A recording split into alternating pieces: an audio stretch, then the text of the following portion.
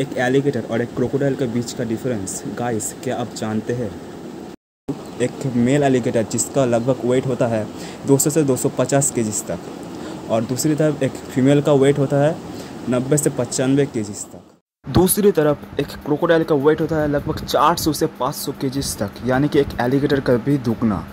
और एक फीमेल भी होता है लगभग 100 से 200 केजीज तक। और आप सबसे आसान और इंटरेस्टिंग तरीके से इन दोनों को पहचान सकते हो। वह यह है कि एक एलिगेटर का मुँह का सेप होता है यू सेप का और एक क्रोकोडाइल का मुँह का सेप होता है वी सेप का।